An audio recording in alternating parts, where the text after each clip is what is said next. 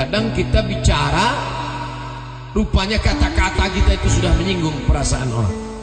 Di mana? Itu yang kemarin saya pergi ke sana yang uh, saya nyumbang 50 juta itu loh.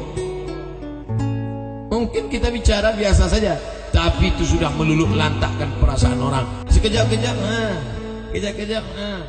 mohon maaf ya pak ini 2 juta nih. Siapa yang bertanya? Macam tak punya duit aja kita dia buat kalau kau kaya bukan jamu 16 juta. Kalau kau kaya bukan baju kokomu 2 juta. Kalau kau kaya bukan mobilmu 2 miliar. Kalau kau kaya kau sekolahkan anak yatim itu sampai S3 Betul? Itu kalau menunjukkan orang kaya.